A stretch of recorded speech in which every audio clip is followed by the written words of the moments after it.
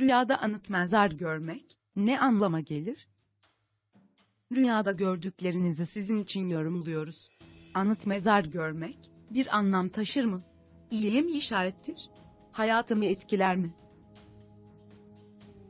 Rüyada anıt mezar görmek.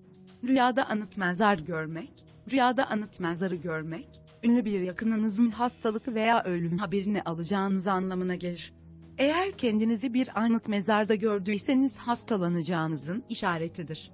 Devamını, Rüya Tabirleri kitabı.com'da okumak için aşağıdaki bağlantıya linki tıklayın.